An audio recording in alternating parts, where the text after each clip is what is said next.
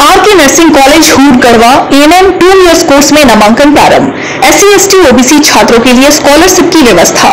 दूर दराज के छात्रों के लिए छात्रावास की सुविधा। संपर्क करें double nine three nine five zero eight five seven eight